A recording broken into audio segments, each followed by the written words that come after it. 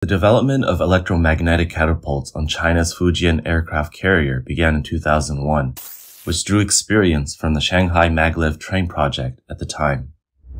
Land-based testing of the electromagnetic catapult for this Type 003 aircraft carrier can be traced back to 16 years ago. China has kept quiet about it, but satellite images from Western companies unveil the truth. In June 2008, while China's first aircraft carrier was still undergoing modifications, a test site for electromagnetic catapults appeared on the left bank of the Huangpu River in southern Shanghai. These are early satellite photos of the Shanghai test site. You can see blue powder scattered on the water surface. As the object being pushed fell into the water, the blue powder splashes onto the ground outside the walls. Some say this was to test the effects of falling into the water, while others say it was to prevent onlookers from approaching the test site, as no one wants to get dirty with the blue powder all over their clothes. These actions revealed that in the first decade of the 21st century, land-based testing of electromagnetic catapults were being secretly conducted in China. In 2009, near Huangdi village, in the northern part of Bohai Sea, a training base for naval aviation was established. After 2011, small red cars appeared here, almost identical to those used for static load testing of catapults on the Fujian aircraft carrier. In 2015, both steam catapults and electromagnetic catapults appeared at this base, with the shorter one being the electromagnetic catapult. By the second half of 2017, various types of payloads often appeared on the catapult track, signaling a new phase in land-based catapult testing. Pro-CCP military bloggers claim that after over a decade of intensive research and countless land tests, the deadload test of the Type 003 aircraft carrier cannot fail. However, it's surprising that China's government media, CCTV, didn't make a special report or take photos of this claimed world's most advanced electromagnetic catapult system. Instead, news came out using photos taken by people on airplanes and some footage from US aircraft carrier catapult tests. People who watched the videos commented that there was no footage of the actual catapult process, just splashes of water. Indeed, the video only captured smaller and irregular splashes of water, unlike the larger water column seen during the static load test of the U.S. Kennedy Ford class aircraft carrier. People also pointed out the similarity between the color and shape of the cars on the aircraft carrier and that of the U.S. This is a U.S. Newport News shipbuilding, where a 36-ton test vehicle on the Kennedy carrier is accelerated by the electromagnetic catapult, reaching speeds of over 150 miles per hour in just two seconds and flying over 300 feet before plunging into the water, creating water columns over 10 meters high, vertically and fully formed. Analysts point out that the difference in the water splashes indicates that the U.S. electromagnetic catapult system provides more powerful and concentrated thrust, and its test vehicle maintains a more stable posture during the catapult process. The crooked water column when the Type 003 carrier's test vehicle hits the water may reflect uneven thrust distribution, causing the test vehicle to deviate or oscillate. Currently, various models of carrier aircraft such as the J-35, J-15, and the KJ-600 have been repeatedly conducting compatibility tests on China's Type 003 carrier. Safety equipment such as life rafts has also been installed. The next step is expected to be aircraft catapult takeoff tests. It is reported that since the second half of 2016, extensive land-based testing of the electromagnetic catapult has been conducted at the aircraft carrier test and training base near the Bohai Sea, accumulating extensive data. There are only a limited number of images showing aircraft stationed on the catapult track, and no video footage is available at all implying that the Chinese authorities are controlling the release of related information. Many people are dissatisfied with the military's secrecy. While the Ford-class carriers have already been deployed, the fate of the Fujian carrier is still being experimented. If the electromagnetic catapult technology of the Type 003 carrier is truly advanced, people question why not present actual takeoff videos and photos to prove it. There are rumors that many mishaps occurred during the testing process, such as several J-15 prototypes being badly damaged, with even their tires stripped bare. Some people sarcastically remark that let's see if the carrier can actually take off, as the duration and intensity of the electromagnetic catapult are uncertain. Some others use historical failures to poke at the sore spots of the Chinese Navy, drawing parallels between the Shandong carrier and the catastrophic defeat of the Beiyang fleet at the Battle of Liugong Island, or comparing Fujian carrier and the downfall of the Nanyang fleet at the Battle of Fuzhou. Faced with these doubts, some Chinese military bloggers have come forward to defend the CCP. They assert that the Fujian carrier is indeed powerful and will rapidly become combat ready, unlike the US Ford class carrier, which has issues even after deployment. One blogger quoted a satellite image from an American expert who subsequently clarified. He said that conducting catapult tests on aircraft carriers is much more complex than on land. During land tests, there is sufficient power supply, stable climate, and ample operating space, especially that there are only single catapults in operation each time. However, it is entirely different on aircraft carriers. If other systems cannot coordinate, the catapults may malfunction, or if one system has a problem and isn't repaired promptly, it may indirectly affect the electromagnetic catapult system, most of the issues encountered by the US Ford class carrier fall into these categories. Furthermore, the expert pointed out that even during static load tests of the electromagnetic catapult on the Type 003 carrier, the carrier's own power system is not used. Instead, it relies on shore-based power. He emphasized that an aircraft carrier is one of the most complex engineering systems in the world, and integrating various subsystems has always been a major engineering challenge. The Type 003 carrier is China's largest and most complex warship. If someone believes that the Fujian carrier can be ready for combat quickly, it can only be said that they have no engineering experience. The Fujian carrier has three catapults and uses distributed energy storage. If one fails, the others can continue working. However, people reveal that the power system of the Type 3 carrier has not been properly isolated, and if a problem occurs, the entire system may be affected.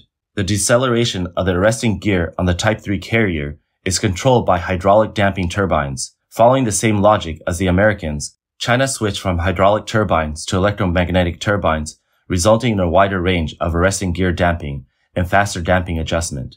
People are concerned about whether the flight deck of the Type 3 aircraft carrier can withstand hard landings of aircrafts. They say that modern aircraft carriers' flight decks are filled with high-tech equipment and complex structures, if aircrafts make hard landings, even the 30 millimeter thick deck and catapult track could deform, making it difficult for aircrafts to take off again. In World War II, if an aircraft carrier's deck was bombed, it was simple enough to nail down some wooden planks and continue using it. But it's not that easy now. Even if the surface looks perfectly repaired, internal structural damage may prevent the deck from bearing the weight and speed of modern carrier-based aircraft. Moreover, if a fire breaks out, the steel plates and underlying structures are essentially destroyed. Because in a big fire, the hardness and toughness of those steel plates will decrease, and they will need to undergo major repairs.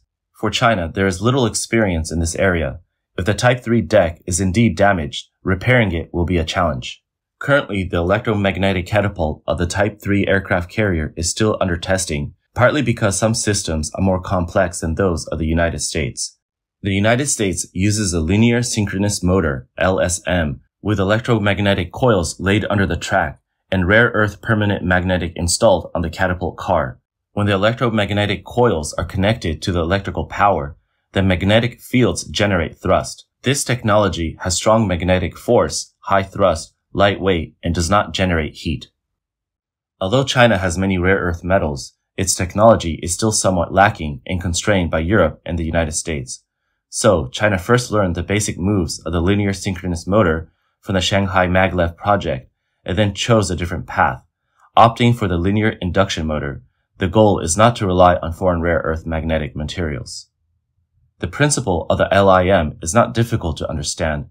There is a long aluminum plate below the battery catapult track with a series of primary coils underneath. These coils are energized in a specific sequence and frequency causing a continuously advancing magnetic field to appear above the conductor plate.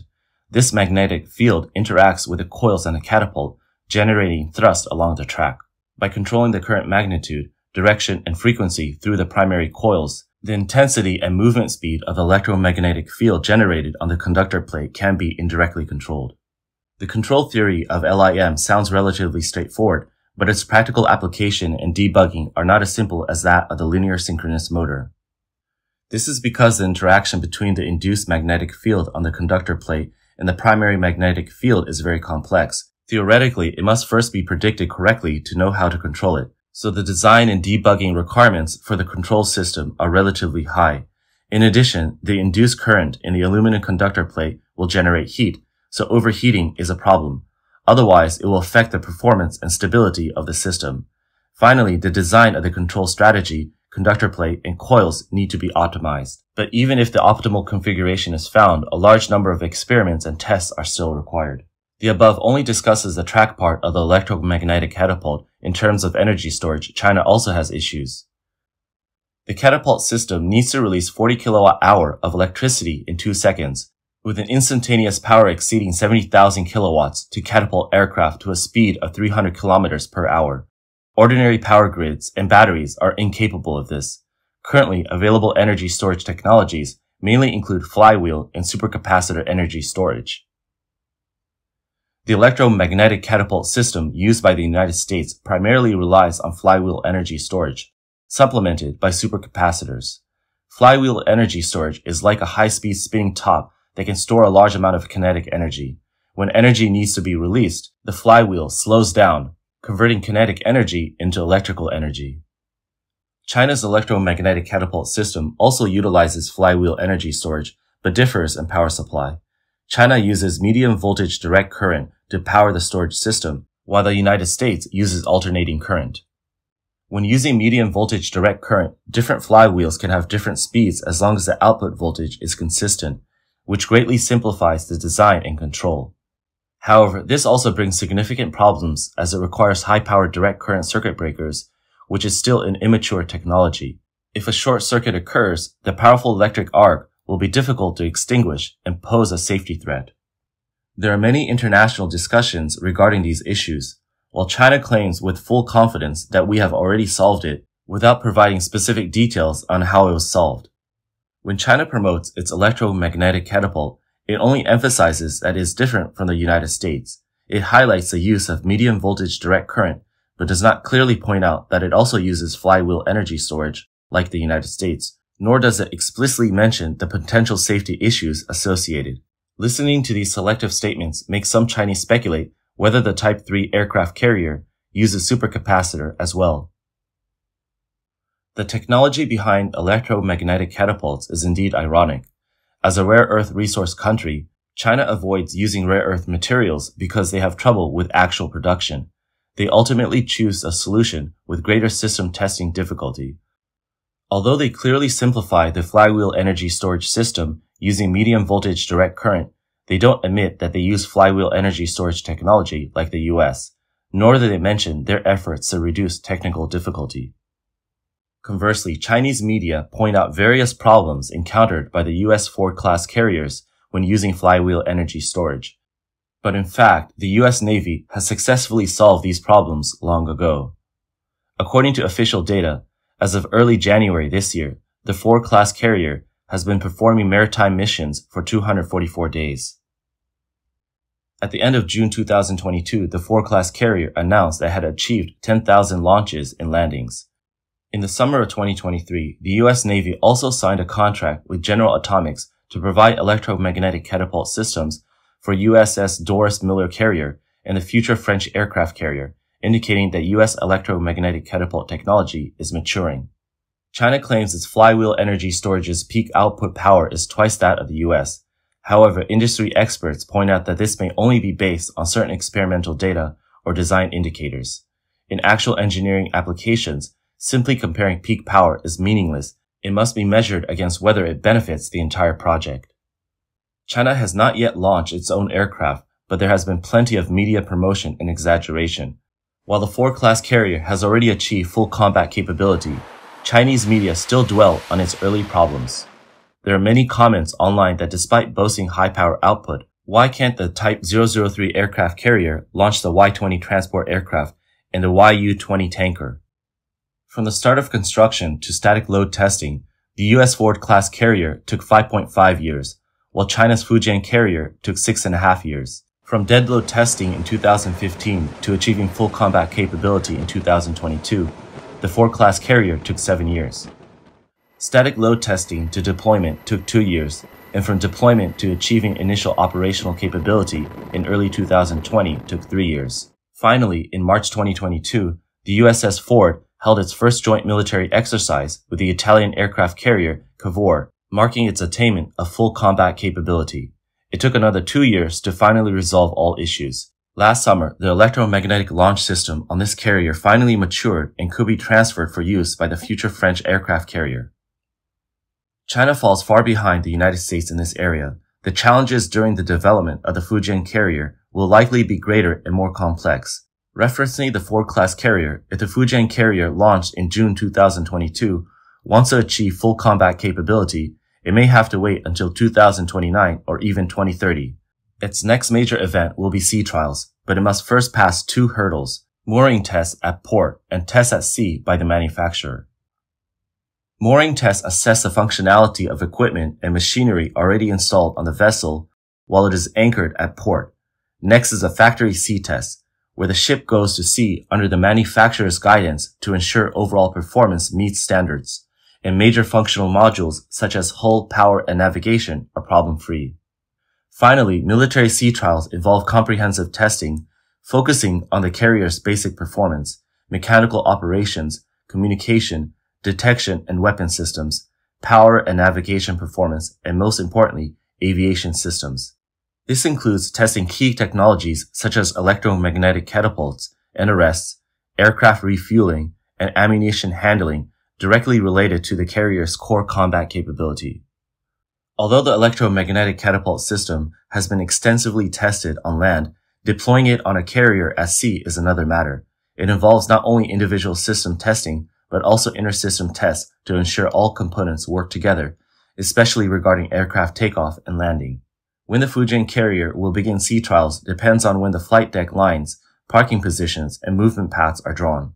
These markings are used to guide flight operations, so once they are made, sea trials are imminent. As the first truly domestically produced aircraft carrier, the Fujian carrier should follow the example of the US-Ford class carrier in promptly identifying and resolving issues. After all, solving issues during peacetime reduces the chances of being caught by enemies. However, there is a fundamental difference in the political systems of China and the United States.